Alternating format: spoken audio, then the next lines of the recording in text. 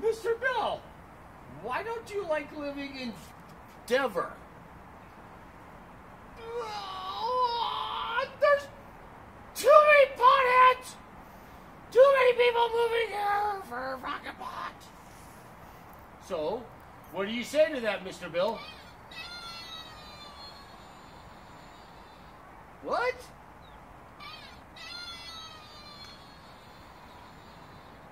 I said you slap you to the ground, Mr. Bill.